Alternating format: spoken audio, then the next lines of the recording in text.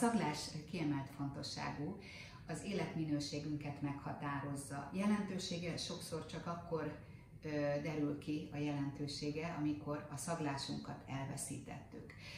Ugyanúgy, ahogy a látásunk, a hallásunk, sajnos a szaglásunk is 50 év föl, körül, vagy 50 év felett sajnos romlik.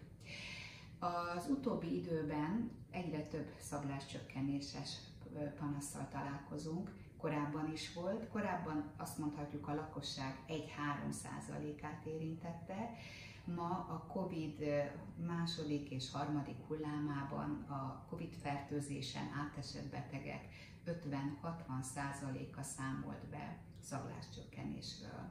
Természetesen a szagláscsökkenés az ízérzéssel együtt jelenik meg, mert a kettő együtt adja meg az ételek zamatát, ízét.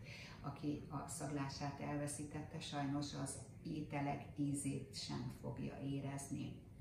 A betegek mintegy kétharmada pár nap alatt, inkább azt mondanám, hogy három-négy hét alatt visszanyerte a szaglását, 20-30 százalékuknál két-három hónap után sem tért teljesen vissza, és most ugye elég sok idő eltelt, a betegeknek körülbelül 5-7 százalékának van még mindig szagláscsökkenése, és ami még megnehezítette a betegek életét, az a parozmia, egy torszaglás jelent meg. Ez nagyon megkeserítik a betegek életét. Visszatérve, hogy miért fontos a jó szaglás, ugye nagyon meghatározza az életminőséget, fontos az ételek élvezeténél, a gasztronómiában, de a parfümériában is a legújabb trendek kialakításában. Bizonyos foglalkozásoknál tűzoltók, katonák, rendőrök, veszélyes munkakörben dolgozó embereknél vészhelyzetben nem ismerik föl a gázok, a különböző vegyi anyagok szagát, tehát veszélyes lehet. És hát tudjuk, hogy a cukrászat, a gasztronómiában, a különböző helyen dolgozó embereknek is az életminőség szempontjából meghatározó. Na most mi történik a betegekkel, akinél a szaglás vesztés megtörtént?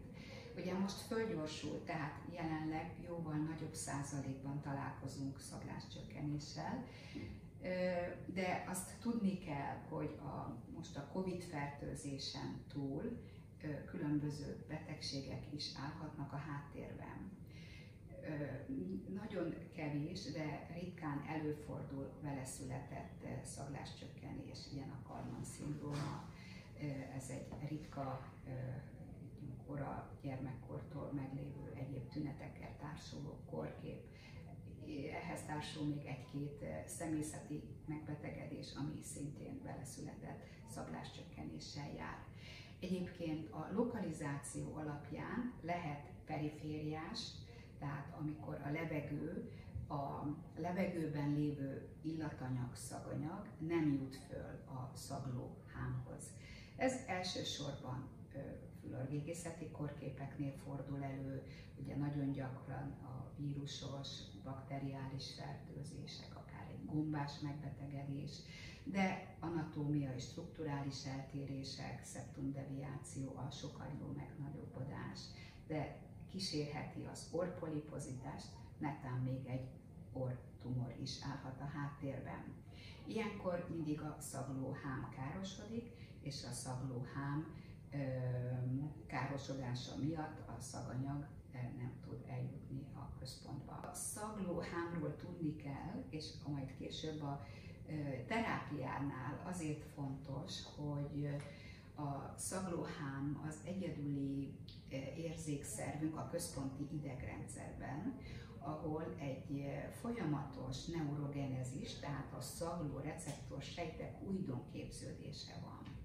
Ugye fokozatosan elpusztulnak a károsodott, a beteg vagy előregedett szagló receptorsejtek, és 30 naponként újra keletkeznek. Tehát ez egy különleges dolog, és tulajdonképpen majd a terápiánál ezt a neurogenezis anamnezist használjuk ki és fokozzuk ennek a szaglóhámnak a regenerációját. Centrális vagy szenzori neurális szaglás csökkenést különböző általános korképek okozhatják. Az egyik leggyakoribb és korai jel lehet a neurodegeneratív betegségeknél, így az Alzheimer-kornál és a Parkinson betegségnél. Az első jel lehet a szaglás csökkenése. De számos neurológiai betegség, szklerózis multiplex, epilepsia, agydaganat okozhat szagláscsökkenést, anyagcsere megbetegedések, autoimmunkorképek, hormonális betegségek, trauma, a trauma az lehet ugye perifériás típusú is, tehát számos belgyógyászati korkép is állhat a háttérben. Tehát emiatt nagyon fontos a gondos, pontos kivizsgálás.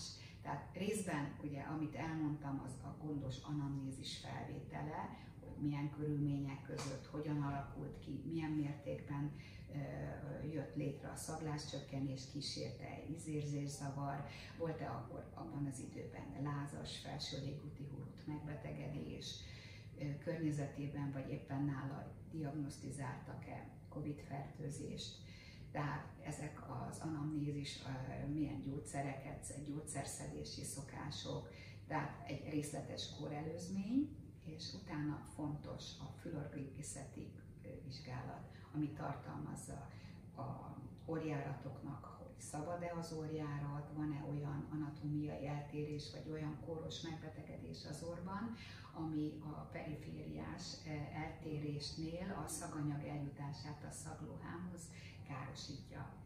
Tehát ezt lehetőleg teljes, komplett fülorgégészeti szakvizsgálat és lehetőleg orrendoszkópiát is végezünk, hogy jól áttekintsük a orjáratokat. Ha szükséges, ha melléküreg eltérés van, akkor melléküreg CT-t érdemes végezni, ha viszont centrális kórok kizárására koponya emert szoktunk javasolni. A kivizsgálás során, amennyiben fölmerül egyéb kórkép fennállása, nagyon fontos, hogy társszakmák képviselőivel, neurológussal, endokrinológussal, belgyógyásszal, pulmonológussal is vegyük föl a kapcsolatot, és küldjük el a pacienst egy konziliumba. A szaglás vizsgálatára térünk rá, 12 vagy 16 különböző szaganyagot szagoltatunk meg a pacienssel, és a szag vizsgálatánál négy különböző illatot nevezünk meg, és a páciensnek meg kell nevezni, hogy ő mit érez. És ennek alapján, az összesítés alapján hányat ismert föl, beszélhető jószaglásról, normozmiáról, hipozmiáról, amikor csökken, anozmia, amikor nem érez szagokat. És ezután hát értékeljük, vagy legalábbis meg a diagnózis felállítása után a terápia az részben a szaglás tréning. Ennek az a lényege, és akkor erről a betegeknek adunk egy tájékoztatót, hogy a szaglás tréninget 12 héten keresztül reggel este 10-10 szippantás, 10 másodpercig kell egy-egy alapillatot szagolni. Ha a páciens nem érzi a szagot, akkor is nagyon fontos, hogy memorizálja, tehát nézi az illatanyagot, 10 másodpercig szippant az egyikből másikból, a két illat között egy másfél perces szünetet tart, tehát gondosan, odafigyelve, memorizálva, mert ezzel mint egy újra programozzuk a szagló ideget, és megtanulunk újra szagolni. Természetesen itt a beteget megkérjük, hogy hetente egy tüneti szkór, tehát hogy éreze változást, van-e javulás, azt ő értékelje, és erre is adunk a paciensnek egy adatlapot tehát 12 hét, de hogyha nincs javulás, akár fél évig is lehet ezt alkalmazni, és az eddigi irodalmi adatok alapján jóval nagyobb számban értek el javulást azok a páciensek, akik a különböző etióp okok miatt a tréninget alkalmazták. Kiegészítő kezelésként nagyon fontos, én mindig egyébként is az orrpanasz e, esetében javaslom az ormosást. Az ormosást lehet sterimárral, csapvízzel, szalvuszvízzel, a legkülönbözőbb, végül semleges dolgokkal kimosni. Ez vagy belespricceli a beteg, ugye, vagy egy ilyen pumpással, de hogyha ez nem áll rendelkezésére, akár reggel mosakodással összekötve tenyérből, felszippantja, kifújja. Tehát ez azért fontos, mert a kémiai levegőszennyező anyagokat, polleneket, a orban lévő váladékot eltávolítjuk, és akkor a páciens sokkal tisztábban, jobban tudja ezeket az illatokat, ezt a tréninget alkalmazni. Ezen kívül ugye nagyon fontosak a vitaminok, nyomelemek, a, e, a vitaminos olajat is szoktunk, de egyébként a B-vitamin, C-vitamin, D-vitamin adása, multivitaminok, nyomelemek, fontos a vas szint pótlása is, amennyiben a vérképben eltérés van.